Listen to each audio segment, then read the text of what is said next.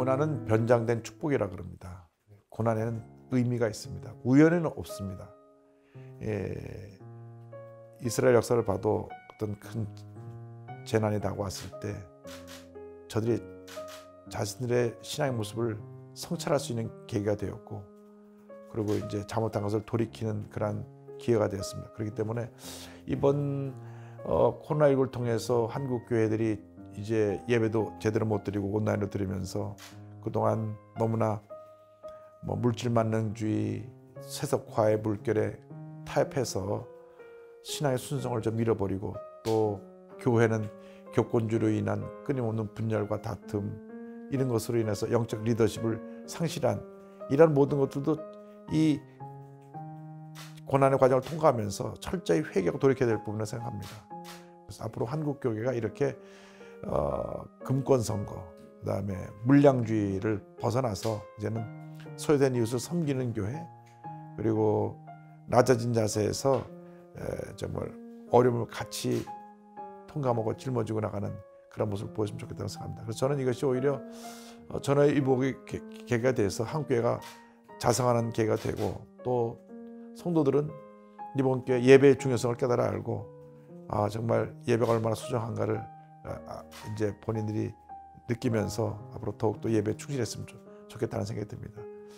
뿐만 아니라 이번에 신천지가 이제 전면의 모습을 드러냈는데 그것도 하나님의 뜻이 있다고 생각합니다. 어, 이번 기회에 거짓의 실상을 보았으니까 돌이켜 나오게 되기를 바랍니다. 한국 교회가 또 열정을 잃어버리고 또 젊은이에 대한 관심을 소홀히 했기 때문에 많은 젊은이를 뺏겼는데 이번에 이번 기회에 다시 젊은이, 젊은이에 대한 관심을 가지고 앞으로 교회가 좀 젊어지는 일에 이제 모든 대책을 세워야 된다고 저는 생각합니다. 거기에 있는 분들이 빨리 돌아 나오기를 촉구해야 됩니다.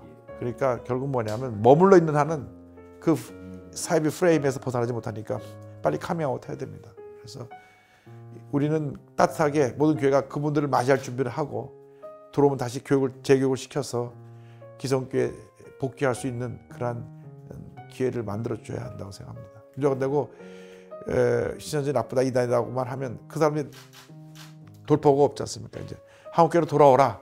돌아오면 모든 교회가 따뜻하게 그들을 맞아주고 신앙의 기초부터 다시 차근차근 그들을 교육시켜서 정상적인 교인으로 만드는 것도 앞으로 큰 숙제라고 생각합니다.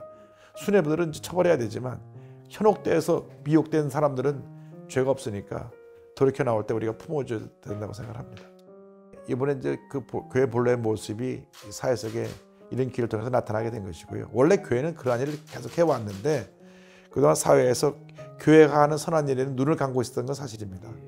그리고 사회적으로 무리가 됐던 것에 대해서는 관용을 많이 베풀고 오히려 교회는 조금만 잘못하면 너무나 엄하게 이제 그 교회를 책망하지 않나 생각하지만 그러나 이것도 우리가 높은 도덕적인 그 어, 수준을 요구하는 사회적인 요청에 응답해야 된다고 보고요. 앞으로 더 적극적으로 이게 섬김의 사역을 펼쳐나가야 된다고 생각합니다. 헌법 자체를 부인하는 거가 되니까 종교의 자유로 하는 것을 부인하는 되니까 그걸 법으로 제정하려고 하는 시도는 좀 무리한 거라 생각합니다. 잘못된 것이고요. 그건 자율에 맡겨야 되고요. 우리는 스스로 자정 능력을 갖고 있기 때문에 헌법에 규정한 종교의 자유를 정부나 어떤 그 국회에서 만약에 그런 규정을 만든다고 하면 어, 헌법의 근본 정신을 위배하는 것이 되고 그것은 결국 중국같이 어떤 공산주의 체제 국가로 가는 길을 만들어 놓는 것이 아닌가. 얼마든지 이거는 자율권을 주어서 잘 이런 쪽을 주해달라고 부탁해도 될 것인데 너무나 많이 나간 것 같아요.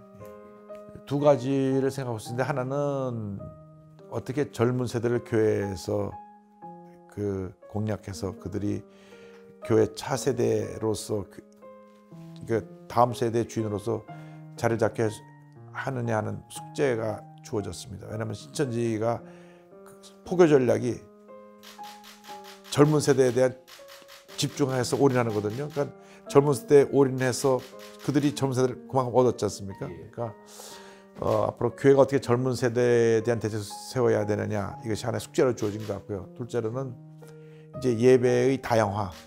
그러니까 대만의 아브라함 쿠 목사가 얘기했듯이 앞으로 세계에서 가장 큰 교회는 핸드폰 교회가 될 것이다. 그런 얘기를 했었어요. 이미 그분은 10여 년 전부터 그 얘기를 쭉 했습니다. 그래서 핸드폰 교회가 세계에서 가장 큰 교회가 될 것이다. 앱 교회를 개발해, 개발해야 된다. 그래서 앞으로 우리가 그 앱을 통한 그 SNS를 통한 그 예배의 다변화. 그러니까 이분들은 병원에 있을 때나 군대 갔을 때나 어디서나 그 손에 있는 핸드폰을 통해서 예배를 드릴 수 있는 그런 기본적인 여건이 마련되는 것이니까 앞으로 그런 면에서 더 많이 제 4차원 혁명 시대와 접근해 나가는 계기를 만들었다 생각합니다. 기독교 정신에 입각해서 올바른 삶의 방향, 이, 이 한국 사회가 나아갈 길을 제, 제시해주고 있는 신문은 우리 국민일보 하나밖에 없다고 봅니다. 왜냐하면 모든 신문이 자기들이 갖고 있는 어느 하나의 신문의 정체성 때문에 어떤 칼날을 띌 수밖에 없거든요. 그러나 기독교 신앙이라고 하는 것은 이 보편적인 가장 중요한 가치를 갖고 있는 그러니까 기독교 신앙이라는 것은 절대 불변의 진리인 하나님 말씀에 기초한 신앙이기 때문에 다른 신문과 달리 인간의 정체성과 그 사회에 올바르게 나갈 길을 제시해주는 그러한 가치를 갖고 있기 때문에 국민일보가 지니고 있는 삶이 크다고 봅니다. 그래서 저는 이제 국민일보가 어떤 그 일반적인 신문의 차원을 뛰어넘어서 어, 기독교 신앙의 관점에서 인간의 가치관 그리고 이 사회 정부가 나가야 될 바른 방향을 좀 제시해 주는 신문이 되었으면 좋겠다. 밤이 깊으면 새벽은 밝아오는 것입니다.